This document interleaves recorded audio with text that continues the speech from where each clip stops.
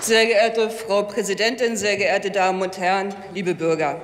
Wir sprechen heute über das Thema Altersarmut, weil die Tafeln aktuell Alarm geschlagen haben, weil sie dem Ansturm auf ihre Lebensmittel nicht mehr gewachsen sind und weil es immer mehr alte Menschen sind, die dort anstehen müssen, Menschen im Rentenalter.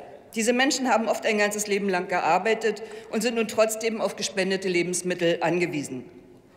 Mit der gleichen Berechtigung, liebe Kolleginnen und Kollegen, könnten wir heute eine Aktuelle Stunde abhalten, weil das DIW vor kurzem festgestellt hat, dass mehr Menschen keine Grundsicherung im Alter beantragen, obwohl sie Anspruch darauf hätten, als es Menschen gibt, die tatsächlich zum Amt gehen und Hilfe beantragen. Und mit der gleichen Berechtigung könnten wir jede Woche eine Aktuelle Stunde abhalten, weil immer mehr alte Menschen ihre Miete nicht bezahlen können oder ihre Stromrechnung. Und mit der gleichen Berechtigung könnten wir heute eine Aktuelle Stunde beantragen, weil Senioren, die Pfandglas aus den Mülleimern ziehen, inzwischen auch in der Vorweihnachtszeit zum Bild deutscher Innenstädte dazugehören.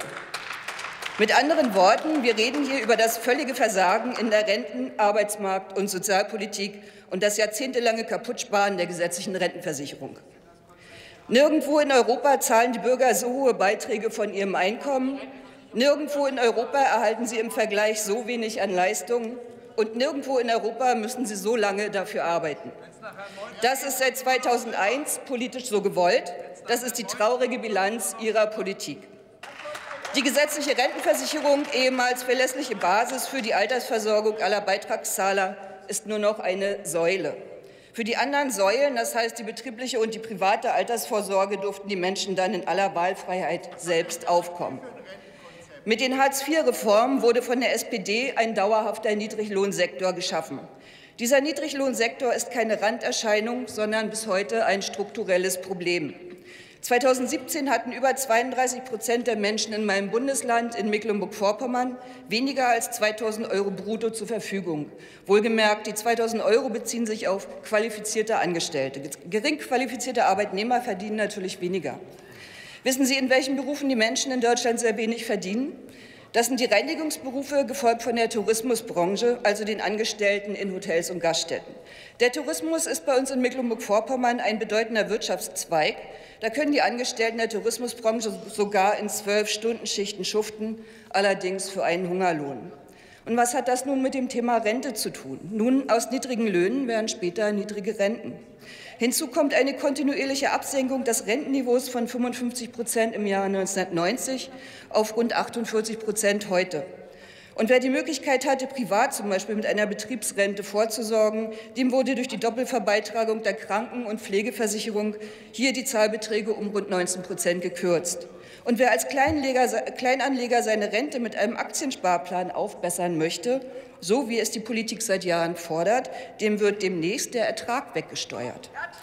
Außerdem wurde die deutsche Rentenversicherung über Jahre hinweg mit immer mehr versicherungsfremden Leistungen belastet. Die Zahlen dazu sind inzwischen bekannt. 2017 waren das über 31 und dieses Jahr werden es über 34 Milliarden Euro sein. Geld, womit die Altersarmut gemildert werden könnte, wenn es die Rentenversicherung denn hätte.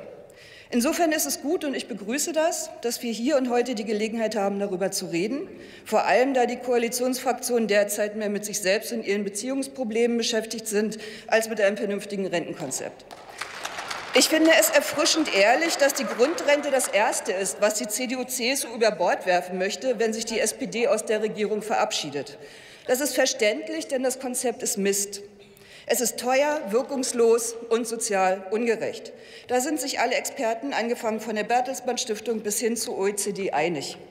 Aber, liebe Kolleginnen und Kollegen, nicht nur von der Linksfraktion, dann frage ich Sie doch, wenn Ihnen die Bekämpfung der Altersarmut so sehr am Herzen liegt, warum haben Sie dann nicht unserem Antrag im Ausschuss zugestimmt, der genau das enthält, was einhellig von Experten gefordert wird, nämlich eine Freibetragslösung für die Grundsicherung im Alter? Das wäre doch der einfachste und sicherste Weg für die Entlastung der Rentner mit niedrigem Einkommen. Kann es sein, dass Sie dem Antrag nur deshalb nicht zugestimmt haben, weil er von uns kommt? Dann sollten Sie Ihre Einstellung gegenüber den armen Rentnern noch einmal überdenken. Die heutige Aktuelle Stunde sollte Ihnen Gelegenheit dazu geben. Vielen Dank. Vielen Dank, Frau Kollegin Schielke-Ziesing.